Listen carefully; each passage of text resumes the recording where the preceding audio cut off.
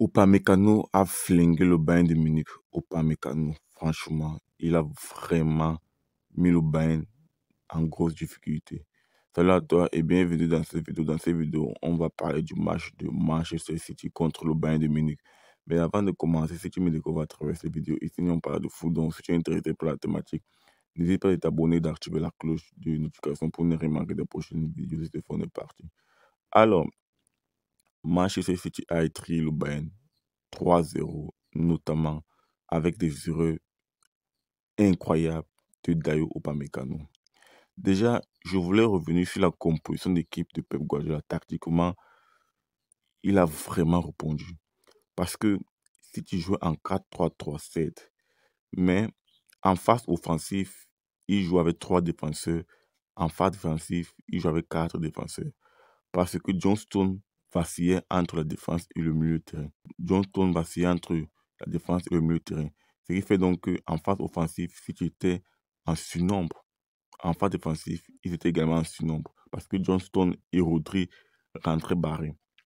Donc, on a donc une équipe de City qui a rapidement ouvert le score à la 27e minute par Rodri sur un super but, l'enroulette incroyable et tout.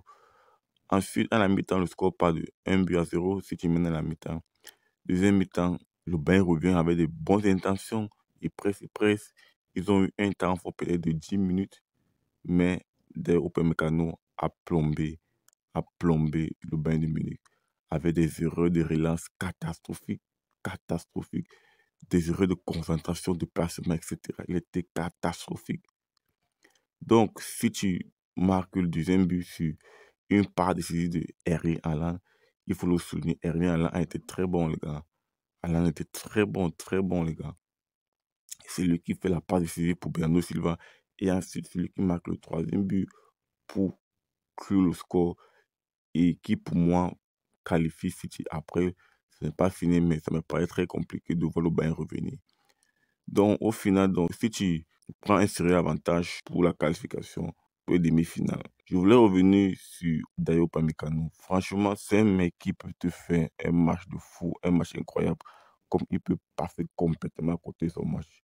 Pour le coup aussi, il était catastrophique. Même Thomas Tuchel a dit qu'il a fait trop d'erreurs. Et lorsque tu fais trop d'erreurs très haut niveau, ça ne pardonne pas, les gars. Ça ne pardonne pas.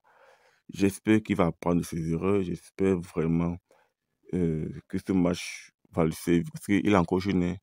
Il est jeune. J'espère que ce match va lui servir de tremplin pour qu'il puisse évoluer dans la suite de sa carrière. Donc, si tu prends une sérieuse option pour les demi-finales de la Ligue des Champions, Guardiola a reçu son coup tactique face à Thomas Tuchel. Donc, voilà ce que je voulais partager avec toi. Thomas retour en commentaire.